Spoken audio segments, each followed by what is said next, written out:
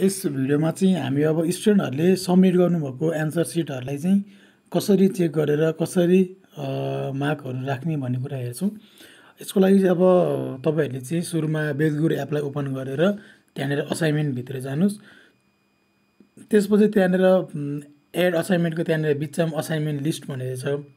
अब यो असाइनमेन्ट लिस्टमा चाहिँ तपाईँ दिनुभएको सबै क्लासको होमवर्कहरू यहाँनिर सिरियल्ली देखाउँछ होइन?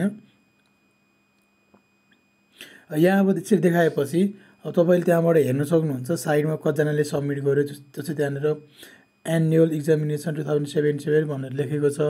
तपाईँले त्यहाँनिर क्लिक गर्नु भएपछि अब कसले बुझाएको रहेछ त यो अब स्टुडेन्टको लिस्टहरू हेर्न सक्नुहुन्छ।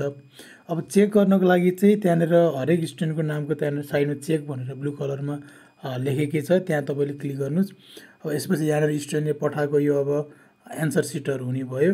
अब चेक गर्नको लागि चाहिँ अब स्क्रिनको टपको माथि त्यहाँनिर क्लिक गर्नुहोस्। क्लिक गरेपछि अब यसरी फोटो फोटो एडिटर ओपन हुने भयो। त्यसपछि चाहिँ अब यहाँनिर कुन चाहिँ कलरले चेक गर्ने हो अब यसरी यसरी टिक लाउने होइन तपाईँले यसरी गर्न सक्नुहुन्छ। अनि अब मार्कहरू पनि यसरी गर्न सक्नुहुन्छ। अब यति भइसकेपछि अब तपाईँले अब माथि टिक लगाइदिनुहोस्। टिक लगाइदिएपछि चाहिँ अनि फेरि ब्याक आएर अब यति फेरि एकचोटि ब्याक आउनु पऱ्यो। अनि तल यहाँनिर पोइन्ट भन्ने छ अब फिफ्टी पोइन्टमा फिफ्टी पोइन्टमा चाहिँ अब उसलाई उसले कति पोइन्ट अप्टेन गर्यो त? त्यो पोइन्ट राखिदिनुहोस्। त्यसपछि यहाँनिर तल सब्मिटमा क्लिक गरिदिनुहोस्। सब्मिटमा क्लिक गरिदिनु भएपछि चाहिँ अब यो सबमिटेड चेक सक्सेसफुली भनेर देखाउँछ।